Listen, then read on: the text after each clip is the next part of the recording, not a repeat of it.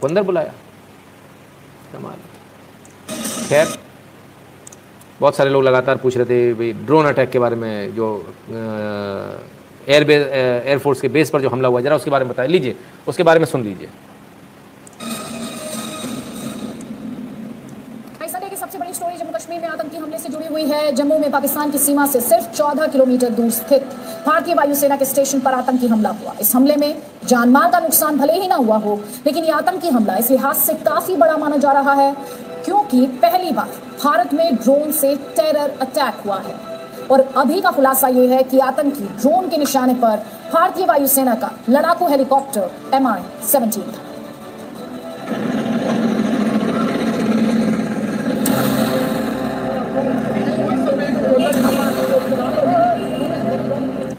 पहली बार भारत में ड्रोन से टेरर अटैक। आतंकी ड्रोन की निशाने पर वायुसेना का एम आई सेवेंटीन का 250 किलोमीटर सक्षम 26 ग्यारह के ऑपरेशन में भी हुआ था इस्तेमाल। आपको जानकर हैरानी होगी कि जम्मू में एयरफोर्स स्टेशन में आतंकी ड्रोन के टारगेट पर वायुसेना का यही हेलीकॉप्टर था। हालाँकि आतंकी इसे निशाना बनाने में नाकाम रहे, लेकिन ये जानकारी वाकई चौंकाने वाली है। एम सेवनटीन के अलावा एटीसी को भी निशाना बनाने की कोशिश की। कुछ दूरी पर ही गिरा और इस हमले में स्टेशन के टेक्निकल एरिया की एक बिल्डिंग को मामूली नुकसान पहुँचा। की दूरी पर हुआ और दूसरे ड्रोन का धमाका भी एम आई सेवनटीन हेलीकॉप्टर के हैंगर से कुछ दूरी पर हुआ। सुरक्षा एजेंसी इस बात से हैरान है कि एक ड्रोन पर पाँच किलोग्राम टीएनटी विस्फोटक लदा हुआ था और अगर ये विस्फोट हो जाता तो एयरबेस को बड़ा नुकसान हो सकता था।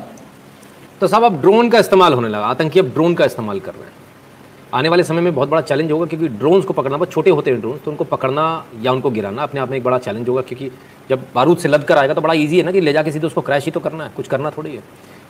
जो हेलीकॉप्टर्स हैं, जो हवाई जहाज़ हैं, उनके लिए भी आने वाले भविष्य में छोटे ड्रोन्स बहुत बड़ा चैलेंज हो जाएँगे, क्योंकि यदि किसी ने हज़ारों की संख्या में छोटे ड्रोन्स उड़ा दिए और वो फिदाइन की तरह आकर यदि किसी आपके एयरक्राफ्ट में टकराना शुरू हो गए तो तो वैसे ही गिर जाएगा। तो एक नया युद्ध, एक नया पैटर्न है। वो हमें हो सकता है आने वाले समय में देखने को मिले हो सकता है। एक दूसरे के खिलाफ जब कोई देश युद्ध करें तब भी, भी ऐसा हो सकता है कि मल्टी ड्रोन्स को एक साथ एक कमांड सेंटर से उड़ाया जाए और एआई बेस्ड उड़ाया जाए कि जैसे वो देखें कोई हवाई जहाज़ उसमें जाके सीधे टकराना शुरू हो जाए और उसमें आपको टीएनटी बारूदी तो रखना है। पाँच किलो तो आ ही रहा है बहुत है। उतने में तो हवाई जहाज़ उड़ जाएगा पूरा। तो आने वाले समय में हो सकता है ड्रोन्स युद्ध में एक नई भूमिका और बहुत अहम भूमिका में सामने आए। क्योंकि अब बहुत स्पेसिफिक हो गया। चीज़ छोटी हो गई तो बहुत स्पेसिफिक हो गया टारगेट हो सकता है हमें भविष्य में ऐसा भी देखने को मिले कि ड्रोन की लड़ाई हो रही है। ये बड़े बड़े हवाई जहाज़ शायद हो सकता है नाकाम हो जाए उस समय। उनकी आवश्यकता बहुत लिमिटेड हो जाए।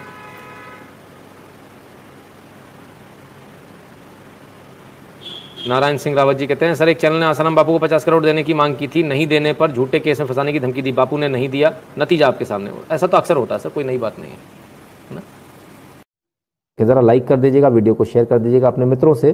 चैनल को सब्सक्राइब करने के लिए बोल दीजिएगा, जिन्होंने अभी तक नहीं किया, और बगल वाली घंटी बजा लें, क्योंकि नोटिफिकेशन तभी आएगा जब घंटी बजी होगी बगल वाली, है ना? उसमें दो एरो बनकर आ जाता है साइड में और, है ना?